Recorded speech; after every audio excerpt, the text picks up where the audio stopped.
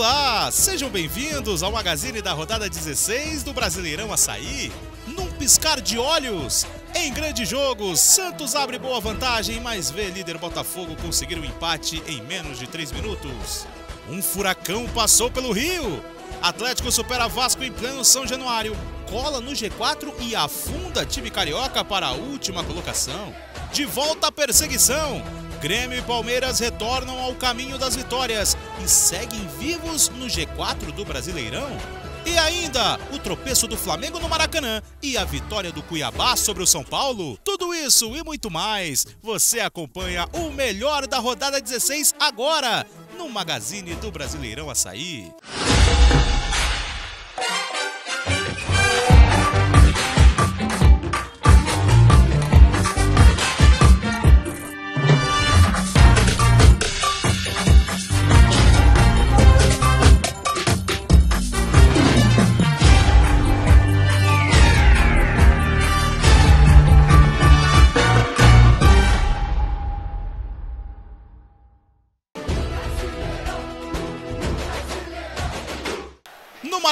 Flamengo e América abriram a 16ª rodada em um duelo entre duas equipes em situações bem diferentes.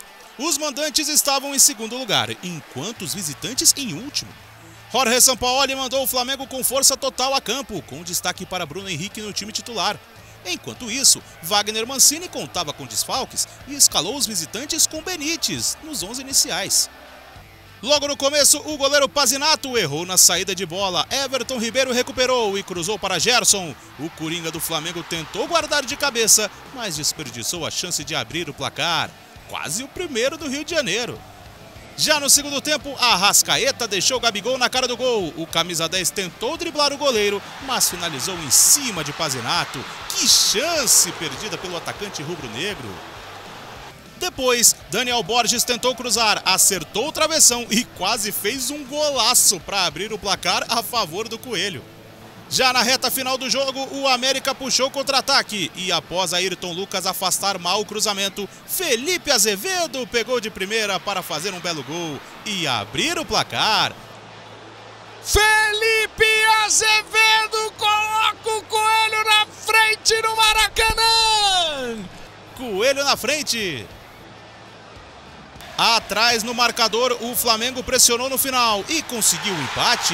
A Rascaeta cobrou falta na área e Vitor Hugo subiu mais do que todo mundo para empatar o duelo nos acréscimos. Bola para dentro da área, o desvio do Vitor Hugo. E terminou assim: Flamengo 1, América também 1. Em um jogo bem movimentado, ambas as equipes tiveram chances de vencer. Com o resultado, o time treinado por Sampaoli continua na parte de cima da tabela, no bolo do G6. Já o América segue dentro da zona de rebaixamento. O Palmeiras recebeu o Fortaleza no Allianz Parque para um duelo interessante entre duas equipes comandadas por treinadores estrangeiros. Abel Ferreira mandou a campo o time titular sem Dudu, poupado para esse confronto. Já a Voivoda manteve sua equipe base, com Lucas Sacha formando a dupla de volantes com Zé Wellison. O Verdão logo de início mostrou forte ritmo e, empurrado pela sua torcida, abriu o placar. Veiga cruzou, a zaga do Leão afastou e Richard Rios acertou o bom chute, que ainda desviou em Tite antes de entrar. Festa da torcida, Verdão na frente. Primeiro gol do colombiano no Brasileirão. A resposta do Leão veio ainda no primeiro tempo. Lucero arriscou um chapéu em Marcos Rocha e a bola bateu no braço do jogador palmeirense. O árbitro, no começo do lance, deu apenas falta, mas depois da revisão, o pênalti foi confirmado para o Fortaleza. Na cobrança, o próprio Lucero deslocou o Everton para deixar tudo igual, 1 a 1, para empatar o jogo do Allianz para festa dos jogadores do Leão do PC. O gol animou o Leão e ainda na primeira etapa Benevenuto encontrou o grande lançamento para Lucero. O argentino em posição legal ficou cara a cara com o Everton, tentou o passe e desperdiçou a chance. Era virada ainda na primeira etapa. No segundo tempo, Marinho teve boa chance, mas o Everton impediu o Leão de virar a partida. Muito bem no lance o goleirão. Após segurar a pressão do Fortaleza, o Palmeiras encontrou espaços para atacar. Mike acionou Rafael Veiga, que se desvencilhou da marcação e bateu forte, vencendo o João Ricardo e colocando o Verdão na frente. Quinto gol de Veiga na Série A. Festa no Allianz. E ainda teve tempo para mais. Nos acréscimos, Luiz Guilherme encontrou boa bola para Breno Lopes, que fechou o marcador. João Ricardo ainda tocou na bola, mas sem chances de defesa. Vitória garantida. Fim de jogo. Vitória do Palmeiras para voltar no trilho das vitórias e afastar qualquer tipo de crise. O Verdão dorme no G4 do Brasileirão, enquanto Fortaleza estaciona no meio da tabela. Na Arena Fonte Nova, o Bahia recebeu o Corinthians em um confronto direto contra a zona de rebaixamento. O português Renato Paiva tinha o desfalque de Kaique, mas pôde contar com a estreia do lateral Gilberto. Já Vanderlei Luxemburgo não contava com Roger Guedes e mandou os visitantes com cinco defensores a campo. O Bahia chegou logo no começo do jogo, quando Everaldo roubou a bola e tocou para Cauli chutar rasteiro com força, levando muito perigo ao gol de Cássio. Na sequência, Tassiano dividiu com a defesa e na sobra bateu cruzado, quase marcando dele. No segundo tempo, Everaldo pegou o rebote do corte, fintou e bateu de esquerda fora. Quase, quase o Bahia abre o placar na Fonte Nova, Maércio. Já nos acréscimos, Tassiano recebeu o cruzamento na grande área, bateu de cobertura e ia fazendo um golaço, mas Fausto Vera salvou o timão em cima da linha. Fim de jogo em Salvador, sem grandes emoções, Bahia e Corinthians empataram sem gols. Com o resultado, ambas as equipes continuam na parte de baixo da tabela, perto da zona de rebaixamento.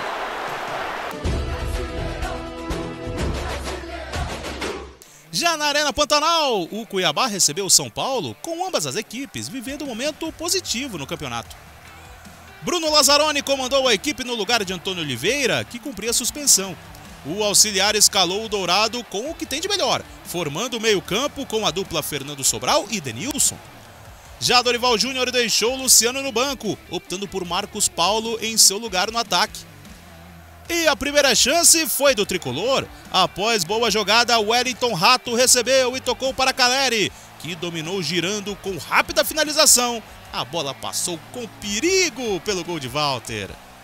Com mais volume, o São Paulo chegou mais ao ataque no primeiro tempo. Caleri apareceu livre entre dois defensores, mas o cabeceio saiu na direção de Walter, que fez defesa segura. Na segunda etapa, o Cuiabá mostrou logo muita atitude na partida. Após bola recuperada no ataque, Fernando Sobral recebeu livre na área e foi atingido por Caio. Mas o VAR interferiu e chamou para revisão. Penalidade máxima assinalada. Daverson foi encarregado da cobrança, mas o artilheiro do Dourado desperdiçou, mandando a bola na trave. Bateu na trave! Na sequência, mais Cuiabá no ataque. Raniel arriscou de fora da área, Rafael fez boa defesa e a zaga afastou. Porém, o VAR chamou o árbitro para analisar a entrada de Diego Costa em Jonathan Cafu. Após a revisão, mais um pênalti marcado e dessa vez Cleison foi escolhido para a cobrança. O camisa 29 não decepcionou e o placar foi inaugurado na Arena Pantanal. O tricolor paulista tentou responder ao gol do adversário com chute de fora da área de Pablo Maia, mas a bola passou caprichosamente, triscando a trave de Walter. E o Cuiabá logo fez o São Paulo pagar pelas chances não feitas. Isidro Pita tabelou, venceu o Diego Costa na corrida e anotou um belo gol para deixar o Cuiabá com uma boa vantagem. Primeiro gol do paraguaio no Brasileirão. Vibra a torcida na Arena Pantanal. No primeiro toque na bola de Isidro Pita! O São Paulo ainda ensaiou uma reação. Após boa jogada de Caio, Erisson chutou cruzado e Natan só empurrou para o fundo do gol. Mesmo descontando no placar, já era tarde demais. Fim de jogo na Arena Pantanal. Vitória do Cuiabá. Com um grande segundo tempo, a equipe mandante ganha moral com esse resultado para a sequência da competição. Pelo lado tricolor, o time estaciona e vê a boa chance de colar nas primeiras posições e escapar. Grêmio e Atlético Mineiro fizeram um confronto pesado na Arena do Grêmio para fechar o sábado de futebol. Renato Portaluppi escalou o Grêmio com o estreante Ronald no lugar de Vilhaçante, poupado com dores.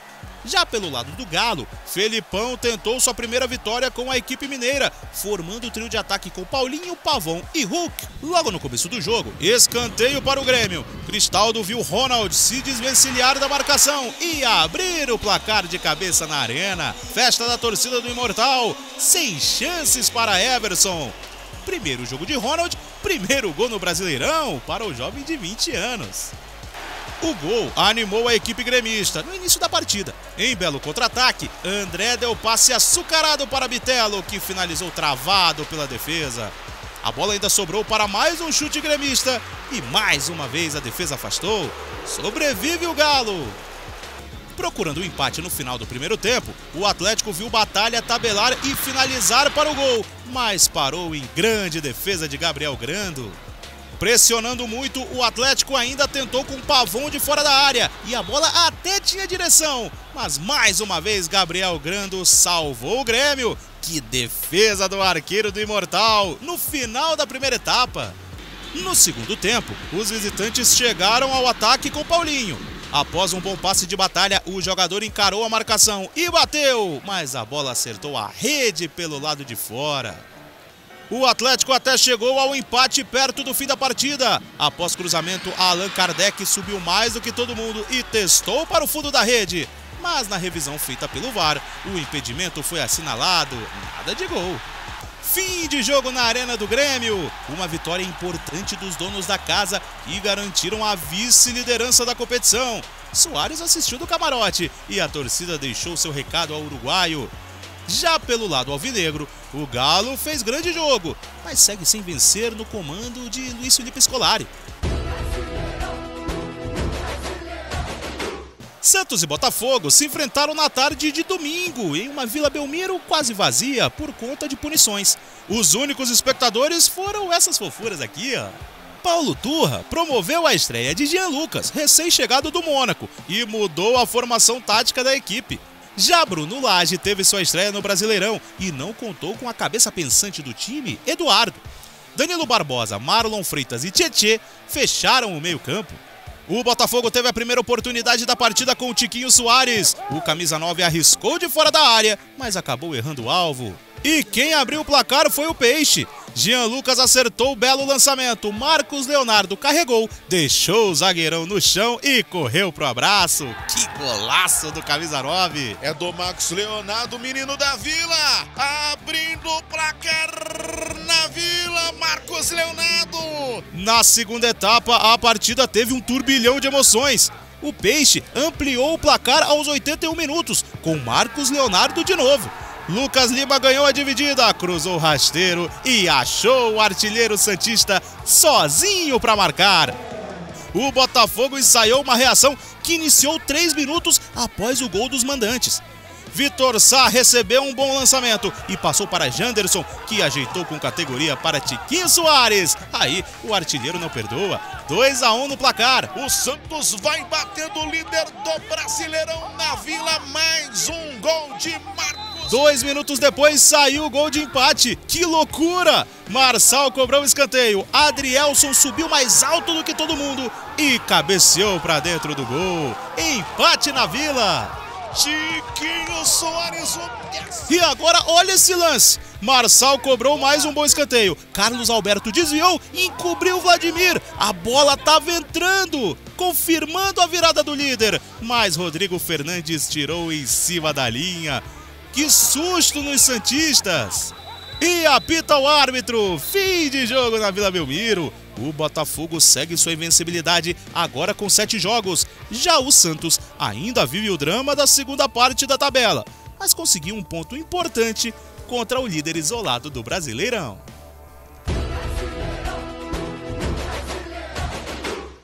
No Nabia Bichedir, o Red Bull Bragantino recebeu o Internacional, que contava com o retorno do argentino Eduardo Cudê no comando técnico. Pedro Caixinha contava com 10 desfalques e mandou o Red Bull Bragantino a campo com as entradas de Hurtado e Natan nos 11 iniciais. Já Eduardo Cudê escalou o Internacional com a estreia de Rocher no gol e com destaque para Ener Valência no ataque. Na primeira grande chance do jogo, Sorriso avançou sozinho pela ponta direita, invadiu a área, mas bateu muito mal. Perdeu a oportunidade, o camisa 27. Depois, Ener Valência recebeu na entrada da área e bateu rasteiro, levando perigo ao gol defendido por Cleiton. No início da etapa final, Vitinho bateu cruzado, mas Sacha chegou atrasado e não conseguiu completar para o gol. Depois, Valência teve outra chance em contra-ataque, avançou pela ponta, bateu e Cleiton salvou. A bola ainda bateu na trave e tudo. Que perigo! Após cobrança de falta e bate-rebate na área, a bola sobrou para Léo Ortiz, que mandou uma bomba no travessão. Quase um golaço do defensor que voltava de lesão. Final de jogo: Red Bull Bragantino 0, Internacional também 0. Em um jogo equilibrado, ambas as equipes tiveram chances, mas ninguém conseguiu perfurar a defesa adversária. Com o resultado, os dois times se mantêm fora do G6, mas na primeira página da tabela. Ainda na tarde de domingo, Cruzeiro e Goiás ficaram frente a frente na Arena Independência para esta partida, o técnico português Pepa apostou na entrada do centroavante Gilberto entre os titulares. Do outro lado, o compatriota Armando Evangelista teve a possibilidade de voltar a escalar o meia Guilherme, que estava suspenso na última partida. Apesar de ter mais posse de bola, o Cruzeiro não conseguia criar chances claras de gol e dava espaço para contra-ataques do Goiás. Assim, surgiu o primeiro lance de perigo do jogo, um chute de Guilherme por cima do gol. Cinco minutos depois, o Esmeraldino conseguiu o gol. Sander levantou a bola na área e encontrou o João Magno, que cabeceou para o fundo das redes. Por dentro do gol, eu quero ver! Ele jogou no fundo da rede. João Magno em câmera lenta. O Goiás está na frente. Antes do final da primeira etapa, ainda houve tempo para um lance polêmico. Em uma disputa na área, Lucas Oliveira tocou a mão na bola, mas o árbitro entendeu que não houve irregularidade no lance. Na segunda etapa, a Raposa aumentou ainda mais sua posse de bola, mas não conseguiu construir boas chances de gol, devido à boa partida do sistema defensivo do Goiás. A alternativa encontrada então foi arriscar de fora da área, e Gilberto conseguiu levar perigo ao gol defendido por Tadeu. Outra alternativa encontrada pelo Cruzeiro para tentar furar o bloqueio esmeraldino foi uma bola parada. Depois do escanteio cobrado por William, Matheus Vital chutou com perigo na rede pelo lado de fora. E sob vaias da torcida do Cruzeiro, o jogo terminou com a vitória do Goiás, 1 a 0. Apesar de ter mais posse de bola, o time da casa não conseguiu criar muitas chances e viu seu adversário ser letal, além de conseguir os três pontos. A vitória fez o Esmeraldino sair da zona de rebaixamento, enquanto a Raposa segue na 11ª posição. Vasco e Atlético se enfrentaram em São Januário, fechando a noite de domingo. O jogo aconteceu com portões fechados, por conta da punição recebida pelos mandantes. O técnico Ramon Dias não contou com Léo e Zé Vitor ganhou a posição. A partida também marcou a estreia de Gary Medel. Já o Atlético também teve um desfalque defensivo. Thiago Heleno cumpriu suspensão e Kaique Rocha foi escolhido por Wesley Carvalho. Vidal foi outra surpresa na escalação titular. Logo aos 9 minutos, Esquivel cobrou uma falta perigosa para o Atlético e por pouco não acertou o gol. O Vasco respondeu com um chute muito parecido. Gabriel Peck ajeitou e Jair arriscou de fora da área, mas a bola foi para fora. Já na segunda etapa, o Atlético abriu o marcador. Fernandinho acionou o Vitor Roque e o camisa 9 cruzou para o meio da área. Vitor Bueno deixou a bola passar e Christian mandou um chutaço para o fundo das redes. Um tapa nela, manda pro fundo do gol! Dez minutos depois, Vitor Roque driblou a defesa dentro da área e levou o pênalti. O VAR revisou o lance por um possível impedimento, mas confirmou logo em seguida. Vitor Bueno foi o cobrador e não decepcionou. Bola para um lado, goleiro para o outro, como manda o manual. 2 a 0 no placar. Agora em São Januário, o Atlético amplia. O gigante da colina até tentou a reação, mas não foi efetivo. Lucas Piton cruzou, a bola passou por todo mundo e parou em Puma Rodrigues. O uruguaio driblou bem a zaga, mas não conseguiu superar Bento. Fim de jogo! O Atlético conseguiu sua primeira vitória na história em São Januário e garantiu pontos importantes na luta pela parte de cima da tabela. Pelo outro lado, o Vasco vive um drama no campeonato e é o lanterna do Brasileirão, com nove pontos.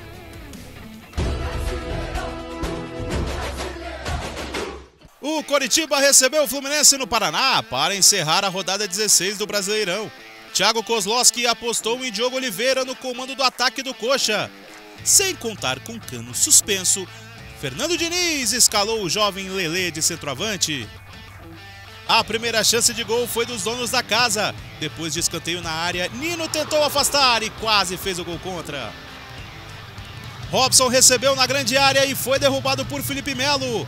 Árbitro bem posicionado, pênalti marcado. É calçado e sofre o pênalti, Leonardo Fontes. Pênalti, pênalti claro, né? Robson foi para a bola e deslocou Fábio para abrir o marcador em Curitiba.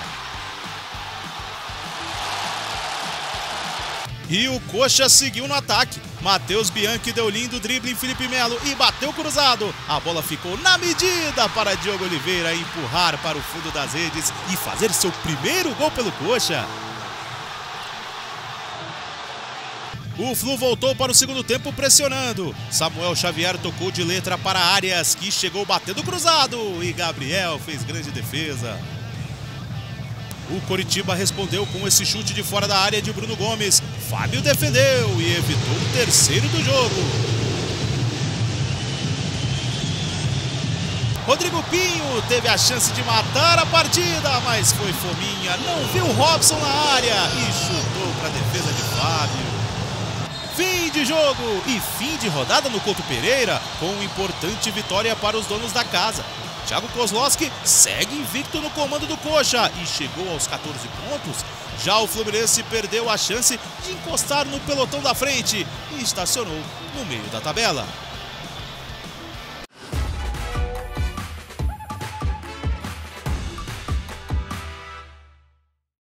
Abrindo o nosso top 3, Diogo Oliveira fez o segundo gol do Coritiba no Couto Pereira. Matheus Bianchi deu lindo drible em Felipe Melo e cruzou o rasteiro, deixando o camisa 18 livre para empurrar para o fundo das redes. Que jogadaça!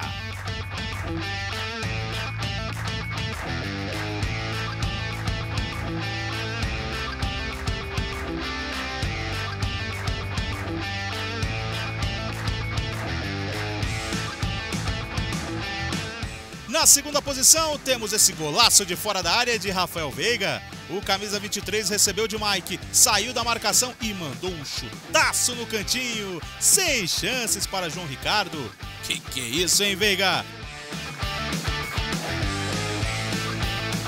E o Marcos Leonardo garantiu o gol mais bonito da rodada com uma pintura. O menino da Vila recebeu esse bom lançamento de Jean Lucas. Teve a frieza de deixar o zagueirão no chão e não tremeu na frente de Lucas Perry. Veja comigo o drible de novo no replay. Que maravilha, ML!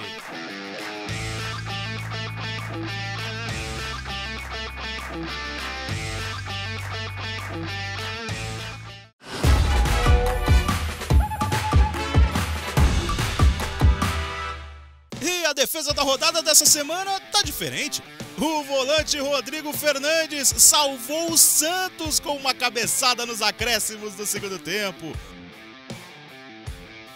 A bola estava entrando e ele salvou em cima da linha, impedindo a vitória do Botafogo. Sensacional!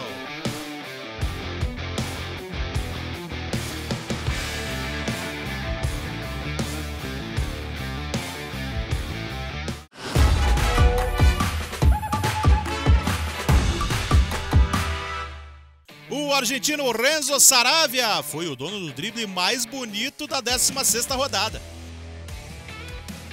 O lateral direito passou por Carvalho com uma caneta de letra maravilhosa. Quanta habilidade do jogador!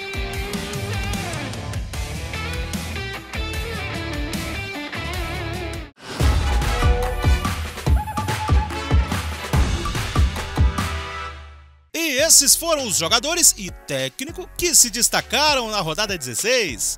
Goleiro, o Everton, do Palmeiras. Lateral direito, Mike, do Palmeiras. Zagueiros, Kahneman, do Grêmio e Adrielson, do Botafogo. E lateral esquerdo, Sander, do Goiás. Os meio-campistas são Ronald, do Grêmio, Fernando Sobral, do Cuiabá, Rafael Veiga, do Palmeiras e Vitor Bueno, do Atlético Paranaense. E os atacantes são Robson, do Coritiba, e Marcos Leonardo, do Santos. O técnico é Wesley Carvalho, do Atlético Paranaense.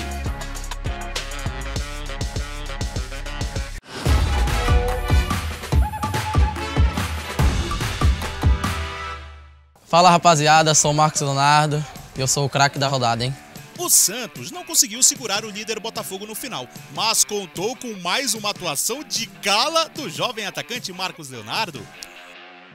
O camisa 9 Santista liderou a boa atuação do seu time e deixou o Peixe muito próximo da vitória com dois gols na partida. E olha que o primeiro foi um golaço.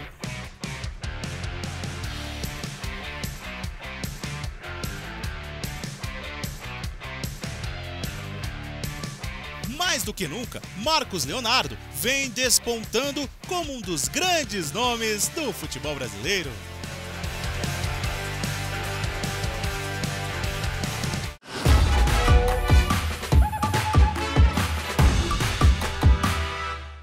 Após a 16ª rodada do Brasileirão, a classificação é essa.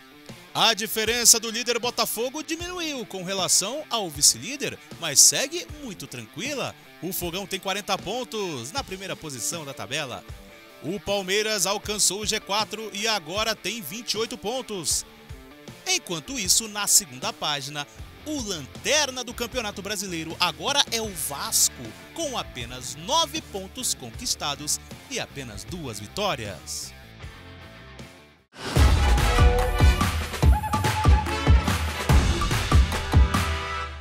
A rodada 17 do Brasileirão Açaí começa no sábado, com Fluminense Santos e Internacional e Cuiabá. Um pouco depois temos Corinthians e Vasco, Atlético Paranaense e Cruzeiro e Fortaleza e Red Bull Bragantino. O último jogo do dia fica por conta de Atlético Mineiro e Flamengo. O São Paulo enfrenta o Bahia no domingo de manhã. À tarde, o líder Botafogo recebe o Coritiba e o América mede forças com o Palmeiras. A rodada 17 acaba na noite de domingo com o duelo entre Goiás e Grêmio no Ailé Pinheiro. E por hoje é só no nosso magazine da rodada 16. Nos vemos na próxima.